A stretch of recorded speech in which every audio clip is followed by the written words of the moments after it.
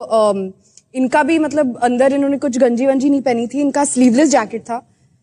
तो हम ऐसे होते थे एंड रेमो से कहते थे रेडी रेडी और हम होते थे ओके यू निकाला और ऐसे। सडनली ये ये ये ये okay okay cut jacket jacket चलिए